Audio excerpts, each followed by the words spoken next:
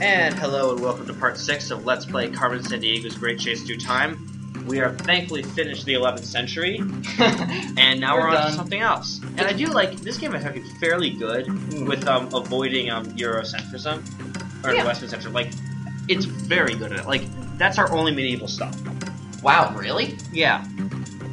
Um, we go back to Europe, of course, but Okay. that's our, like, that's medieval England. We're, so like, it sh- well, we'll So, see. We had but- the Vikings, we had medieval England, but We have also Pale had Japan. Pan Japan, uh, ancient Egypt. Uh, well, ancient Egypt is not medieval, but uh, I see what you're saying. Yeah.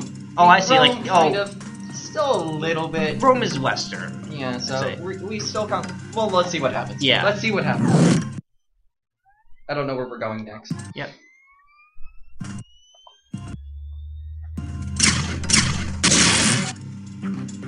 You're tunneling to the 13th century, where China's Yuan dynasty Oh, is powering up.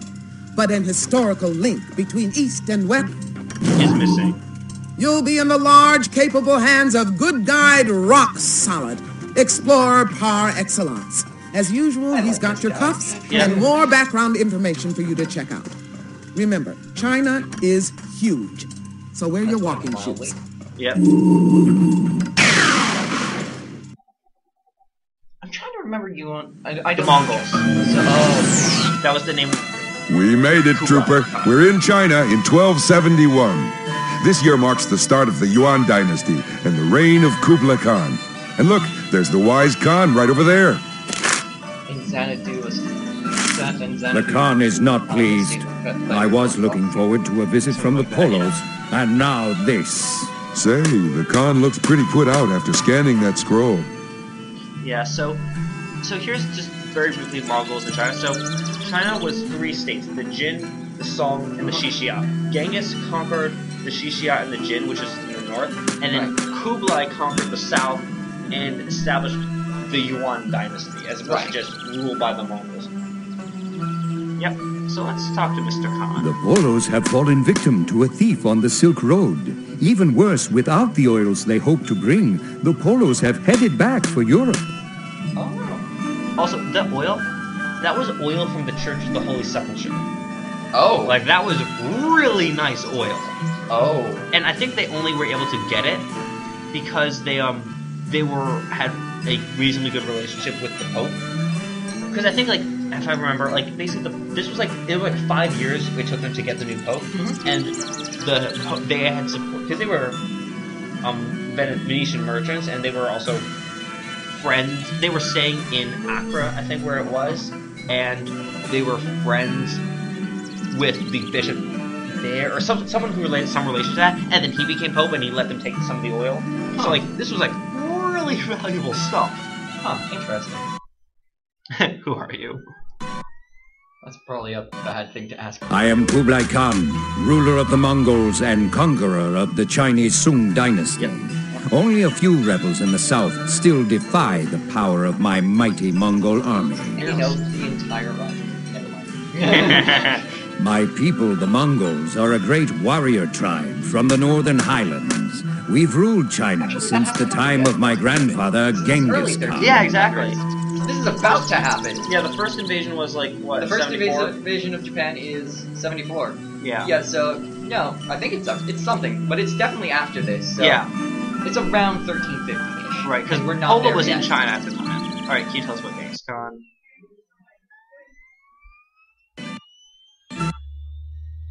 My grandfather, Genghis Khan, was a Mongol warlord who overran the Great Well, no, Wall, he just went around it. ruthlessly conquering northern China and ferociously battling to the very edge of Europe. That was more his son, My but rule, yes. fortunately, has been a bit more civilized. And that's Actually, a true. little thing about the Great Wall of China. It was originally constructed by an incredibly paranoid emperor because Yes, he was Jin Shi Huangdi. Jin Shi Huangdi. Wow, you know this way better than I do. Yeah. Um, no, because he was obsessed with trying to avoid death, so he thought by building this Great Wall he'd be able to keep out.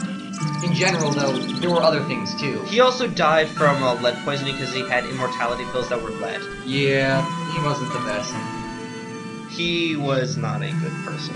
He was not good at it. Yeah. Also, if you notice, Kublai Khan's like more like, uh, I am much more calm than Genghis, who's like, I'm gonna ride a horse and kill things. But like, Yeah, that'll- and that's true. Like he was adopting. Like part of the reason he was like, I'm the Yuan dynasty. He was like, I am more civilized. I am Chinese. Right. My foreign friends, the Polos, were bringing precious oils from their distant homeland, but a dishonorable thief has stolen this gift. The Polos are merchants from a place called Italy, far to the west. They came here years ago and promised to return with gifts from their homeland. We'll get to Italy. The great Khan has learned to trust foreign visitors and accepts your offer. Please help the Polos for me. To speed your travels, I grant you full use of my golden tablet of passage, which allows safe travel throughout my domain. That's actually not a um an item you have, but it is cool that they actually address that. Like, Right. here's why you just have carte blanche to travel. Um, Surely you know of the Silk Road. It is the ancient path all merchants take to journey east and west. and they mean ancient. Like that is like the Roman Empire. Yeah, the Silk. Road is really old. Yep. What is not? Porcelain, silk, even the paper money my people make here in Khanbalik. That's Kan- right. is that because Khanbalik? China? No, because oh yeah, that's kind China is the first, the uh, first place to adopt paper money as Yes. a form of currency. Wait, Khanbalik. I thought that was in. I, no, I don't know Khanbalik. No, Kara. No, Karakora. No, Kanba. I, I could have sworn Karakora. I can't remember the names. Oh well. Indeed we do. Our convenient paper money is made from the bark of mulberry trees, like the one that shades me now.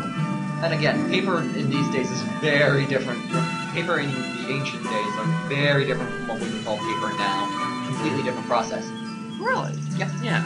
Interesting. Because they use the leaves, I believe. Uh, bark, leaves. Because it's like pulp. And, it's pulp now. It's pulp now, but originally it was it was uh you use Yeah. bark and other. but like and paper's other- been a thing in China for It's a been a while. long, it's been a while. Indeed, firecrackers are most useful in celebrations and to frighten away evil demons. Behold,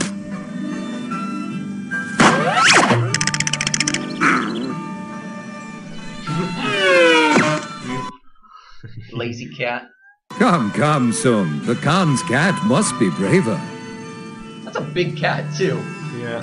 Jeez. You can just take some firecrackers. Cheetah. That that's- Khan's got one cool cat. The Mongols often used cats and birds when hunting. Okay, let's. They, and actually, in Mongolia, they still do them as Ah. a tradition. Over Especially there birds. is Khanbalik, the Khan's capital, and a center for producing paper money. oh, In our time, it's called Beijing. Beijing's gone through a lot of names. Beijing has gone through a lot, a lot of names. Yeah. Because I know there was a Mongol capital in Mongolia that they used. And I'm not sure when and how much, but okay, so let's go to Sinagam. Sinagam. And this is weird because, well, as you'll see in a second. Yep. Wait, Yeah. what? Exactly, we just went a lot of miles. Which is really weird. Hey, that's a piece of Carmen's note. The thief was here. We should be, we should be all grown beards by now if we traveled that far. Yeah. In So Xanadu, actually- it would look on a stately pleasure don't agree. A stately dome. I think it was Pleasure Dome in the actual poem. In the actual poem, it's in, in Xanadu, it would look on a stately pleasure don't often agree. I don't, I don't think the thought was in there. No, it's it's there. I'm pretty sure it's there because where is it? And because it does it because it throws the rhythm of the meter back into. Stately Pleasure Dome. Anyway, let's talk to this. I wish my hands were not so idle for lack of silk. I'd rather be spinning silk than sipping soup. No, it's decree. Greetings. I am Song Hu, one of many silk weavers here in Xiangfu, where women have made silk weaving an art. I don't think I've ever asked done this dialogue. Strangers, Xiangfu is a most famous city. If you want the finest silk, there is no better place than right That's here. building, that's not a city. Yeah. My silkworms can produce no silk, for they have nothing to eat. Oh, whoops. Hold on. We need. I- Silkworms I are missed finicky eaters and will feast only on the leaves of the mulberry tree. I cannot. My mulberry tree is all out of leaves. My poor worms are starving. I would like to eat my soup, but this spoon has a mind of its own. Scholars tell me it detects strange energy properties. All I know is that each time I set it down, the spoon spins and points in the same direction. I would gladly give it away, but this is my only spoon. I got them from a trader near Sachau. I hope I didn't make a foolish trade. That's an aggressively magnetic spoon. Yeah, it's cartoonishly. Actually, we need to go back Farewell. Pleasant journey. because I forgot something. Oh. Ah, that's why. The great Khan greets you. Yeah. So you pretty much did that as did that. Yeah, I, so I forgot. That's fine. I see you want some wonton soup, but I have only enough for You see, one. this is actually an art decision I regret because, like, there's no excuse. This is supposed to be a city. We should be seeing like, yeah, a we should be- shop. We should be seeing them quite It's a like bit a more. shop in like an urban environment, but we can use Wow, those worms have an appetite just like mine. Big. little fast. Ignore how little time that took. Pretty. Thank you for your kindness. Please accept this gift of silk in gratitude. Just remember that silk at this point is incredibly expensive. Not as much in China, Not as much as in China, but yeah, it was like trade we- it. yes. Certainly. Farewell. Well, we did kind of just save Pleasant our entire business and livelihood. Yeah. And back we go. So, China, that was in, that's in um, northwest China, right? Heya, heya, barter and trade with me. I've got wagon loads of fabulous goods. Still not enjoying the whole thing. Honest travelers, I am Huang, a merchant who travels the Silk Road. Well, a leg of the Silk Road. The Silk Road stretches countless miles. Goods pass from merchant to merchant, making their way that from right, east yep. to the distant west, though I myself have traveled only as far as the nearby desert. That's really good. I'm glad they got that. Yeah. I could be convinced to part with certain items if Yeah. you have something of value to trade. Or at the very least, I have a passion for silk. I can trade it anywhere from Khanbalik to the Great Desert. So this, I don't like this mission as much because it's very, very narrow. Like, it's like all of China, and we're just like, And we have very just in this crappy, very like, and there's nothing to click on. So like, there's nothing to interact with. And interaction is how you like you build your environment. Right. Actually, are these? Yeah, none of this is background objects. Wow. Okay. That's. Well, I guess this was. Um, yeah, the support symbols. This pottery is wonderfully delicate and as thin as paper. You won't find work this fine anywhere else in the world.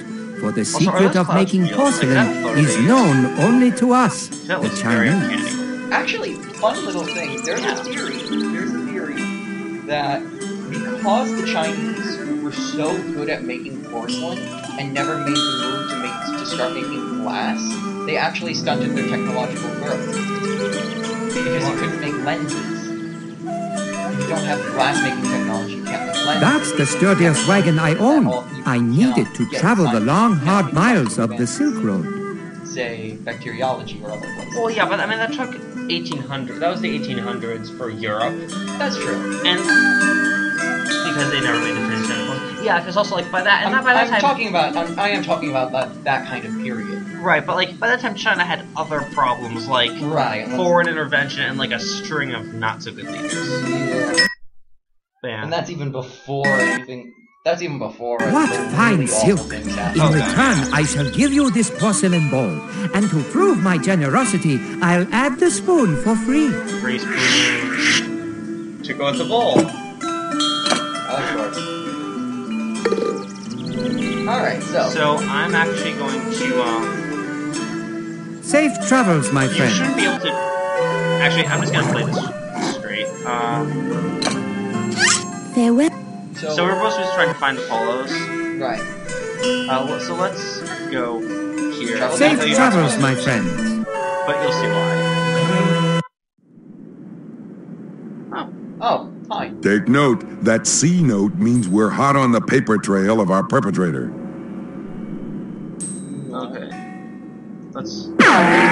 Because this sounds like a Marco! great idea. also. Marco Polo! Wow. Nothing.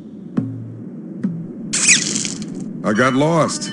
We need some device to find our way through this Ah, land of sand. fine. So like I could have gone. So we trade the bowl in for the compass ball. I didn't want to do this to be fair because like there's no way you can know that before doing that. Right. But also, when you um they do the map thing, it Safe really travels, spells my out how friend. linear this is. Right. And that's a very unpleasant user experience, even if it's the same Yeah, as that's other one of the missions. things. That's actually just a design. That's just a design issue where it's like, you know, it makes it easier to navigate on the one hand, but on the other hand, It ruins the Many user thanks experience. for the new we're showing bowl. exactly what's going Let me on. give you this ball and spinning spoon Better to in not be return. fair. Exactly. Yep. Then again, it could very Farewell. well be that Pleasant journey. this chapter was added in late. As I can tell, these were developed out of order. That's possible.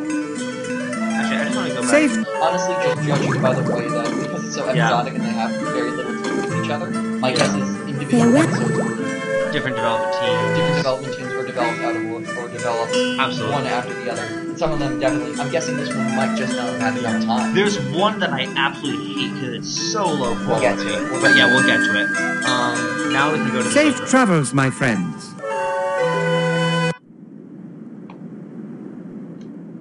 Can we click on the- So this is actually a painted. That's a simple blue gradient, but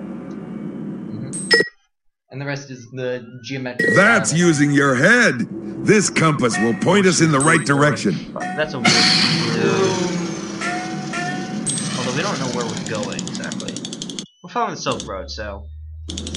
Which wasn't really a road, but I'm sure there was a path. We had Your soup bowl like, guidance really travels. helped us cook Yeah. through that desert. And say we're not He alone. looks young. I Well, do believe was. we That's found true, Marco I Polo about and his party. He was our I've joined my father came- when he Niccolo and Uncle Maffeo on their second visit to the Khan. But without our oils, our caravan will have to turn back. Is that a tiger? That is a tiger. Yes. Hey, Marco Polo, have you been writing a diary? Because we would like to make sure that it's not stolen in about 700 years. Call back to where in the world. Alright, let's talk to Marco Polo. Buongiorno. Have you any oil? Ours was stolen. Yeah, true. Back to us. Yeah. I don't know. Who are you? I am Marco Polo, the son of a merchant, and I have come here from the faraway European land called Italy. Question. Did the Medici family fund? No. No. Medi- the Medici's. I'm getting all my history confused. No, no, no. You're not. You're not entirely off. But the Men- the Medici's were Florence. Oh right. Also, you. but you are. They were more Renaissance. yeah, they were more. They were Renaissance. I'm trying to remember, were they around? Actually, the Medici's are actually bourgeois. They started out as peasants who rose to merchants, who Oh. rose to political power. Did not know that. Yeah. Italy is quite far away so in yeah, it distance, and And the whole world away in customs. Yes. I have much to learn about China and its people. Also about Muslims, who in his book, uh, Charles Mark Phillip, which I partially read, it's boring. Joseph, maybe it gets better later, but like when he's going to China, he doesn't have the maturity to like understand what he's seeing, Hmm. and he like it's just like calling Muslims Mohammedans, which is bad enough because it's just like it's not what they're called, but also it's like it's spelled in a really really bad Bad. bad way, and it's like ah, this is so Well, annoying. translate- Translation is better. Better to have an Yeah. accurate translation. Yeah. Our plan to bring precious oils to the mighty Khan was foiled by a thief in strange garments who looked neither European nor Chinese. The oil thief proved too slippery to catch, but I'm sure he's around here somewhere. I'm not even 20, and already traveling is in my blood. Yep. The past three years' journey east with my father and uncle has been magnifico. Also, a he was like life 16, of adventure 17. Yeah, awaits. he was 17 when he if left. only I can okay. meet the Khan. Although Shows you how cultural perceptions can just really screw with how you think about history. Yeah. I thought Marco Polo was much older. Well, he stayed in China for like 20 years, Yeah. 30 years. He came back as a middle-aged man. yeah, so that's fair. Yeah. So this is actually interesting because we don't. I'm looking at. So what do we actually have to do? Our goal was find Marco Polo. Right. How do we do that? Because I had to kind of do this out of order. We need to go through the desert. We can't because we don't have a. We don't have a compass or direction Right. finding thingy. So we need we need to get herbal. How do we do that? We probably need to get trade for the other thing. How do we do that? We need silk. We need to use the mulberry tree We use the mulberry tree on the tree. uh, to get the silk to trade for the bowl to get to give the silk person the bowl, and then we get can get here. Yeah. So I kind of we're doing. So you kind of have to see everything Right. and then or intuit it and then go backwards. So it's Right. that's not very good design. It's like go through everything. It's okay design. It's again like, they're this trying for variety here because Yeah, but you- this is like the third mission where there's the with the adventure standard adventure game. But it's like you have to go through everything, then go back and go through Right. everything to solve the puzzles. yeah. and I also these puzzles are not that difficult, so they're not rewarding. Right. Well, here's the thing. I think right now the Viking mission has been my favorite in terms of design, Yeah, just me because too. of how inter- because it's been actually the more more complex. yeah, I've joined my father Niccolo and uncle Maffeo on their second visit to the Khan. But without our oils, our caravan will have to turn back. Alright, so We better get them. Yeah. So in this case, also like solve their problem. It's not like do the separate thing and find the thief. It's just find a thief, get the damn oil back. Also, should I, should I be saying damn about oil from the Church of the Holy Sepulchre? Probably not. So long. Best of luck bringing down that bandit. Thank you very much for your. Thank you very much. so That. Siberian tiger. Nice job, Trooper. You really made that tiger turn tail. That should not be what that tiger looks did like. Siberian? Oh, hold on. I'm missing something. Wait. Did Siberian tigers even? I should have clicked the tiger first. No, I, I don't think it gave me information. But Siberian tigers did they? They didn't live in the desert. Um, no. So, the, we're, it's really hard to tell because we're outside of China, but Also, we um missed a Carmen note. we did. Well, we only have two. Well, where is it? I don't know. We'll have to backtrack. Oh, Christ. Eh, don't worry, it's not two parts. I mean, Oh, oh, I remember where it is. oh, good. Well, you have the one in the. Arrivederci. Yeah, it's um. Oh. Hoo-wah! We found the final fragment of the Carmen note. It'll help us find our fiendish fate. Yeah, I mean, I. Yeah, so. Now that the C note's complete, I'll activate the time cuffs. So it is this time we have we can go we can arrest the thief anywhere in China, but problem with this, I'm sure they're around here, so we know it's next to them. Safe travels, my friends.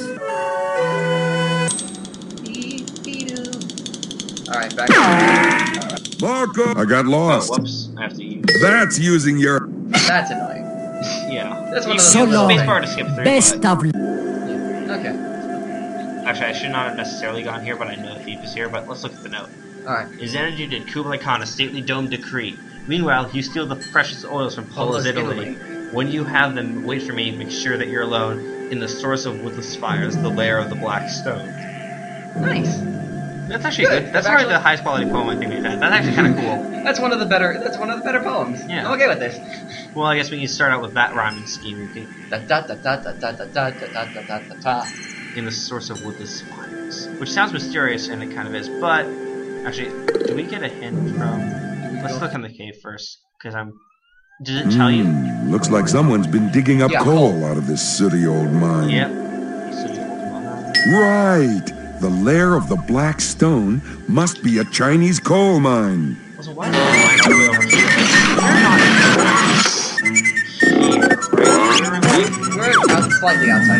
of the one of the um, stands. Let's go, Jacqueline Hyde. My dear Jacqueline Hyde. I know you're only doing your jobs, but you won't keep me locked up for long, losers. I am so happy. Excellent work! That's one of the better. You rescued the Polo family, Yeah. jailed Jacqueline Hyde, and did some pretty sharp bartering, too. Thanks to you, trade between Europe and Asia will blossom, changing the course of both cultures with a bang. for better and for worse. Congratulations, Time Trooper! Not really suffering the rest of it. So, you've snagged another of my sidekicks. I'll admit it. You're a talented time trooper. But you'll never stop my next scheme. Looks like Carmen's causing more crime just ahead in time. Can you take this case?